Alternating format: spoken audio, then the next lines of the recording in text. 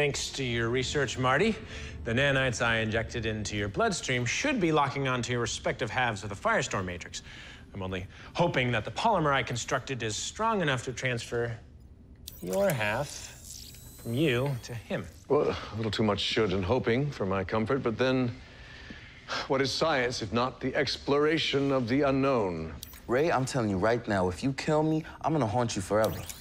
Well, just remember, this was your idea. If you guys are getting cold feet, we can call the whole thing off. Absolutely not. We proceed with courage and confidence. It's time for Jefferson to claim the power of Firestorm for himself. I appreciate that, man. But come on, admit it. You're gonna miss this a little. I mean, being a superhero, saving time. Not at all.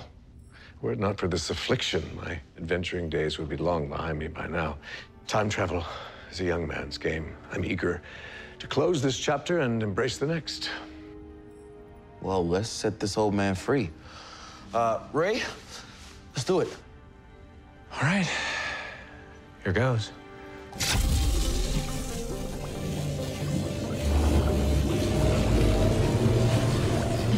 Oh, hey, what's, what's going on? Uh, the system seems to be overheating. Uh, there's too much power.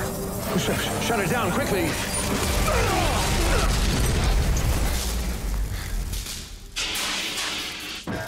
Marty, Marty, you okay? A little bruised, Dr. Palmer, but I'll live. Wait, what? Everything hurts. Whoa! Ooh.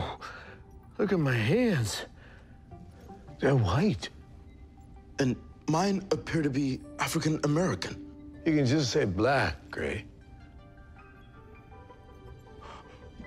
You're, me and I'm you? Oh, pancakes.